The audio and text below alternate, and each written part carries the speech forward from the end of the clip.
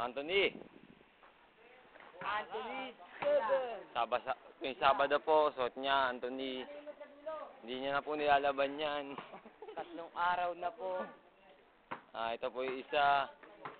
O, nagtatago ang muka. Ito po ang Muse. Ang-miss namin lahat. Ang pinakamaganda.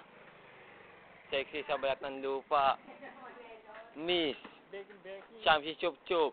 Na sinupa ni Chup. At ito po si Carlo. Kaungga po, binata. Kanina po, kanina, kanina. Pinalya pa yung kalaban.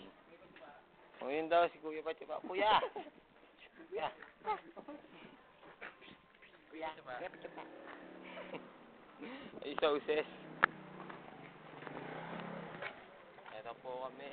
ah, ngayon, pupunta kami para umuwi na. Dahil maganda ang aming jogging. Masaya-masaya po kami. At nagpapasalamat po kami kay Madam President. Madam President, maraming salamat po sa aming pagkapanalo sa World Camp Championship. Ha? Ano po, boss? Ito po ang dinadaanan ng mga tao. Na, na black talaga ang tao. Yung dalawa, si Anthony, saka si Bakla. Si, si, Kuya!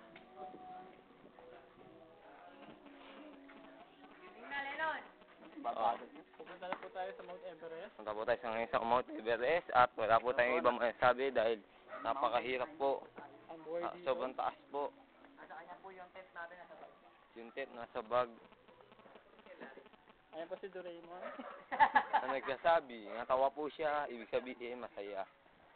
Ang hirap dumaan sa Mount Everest, tayo namin dinaanan para lang masugod ang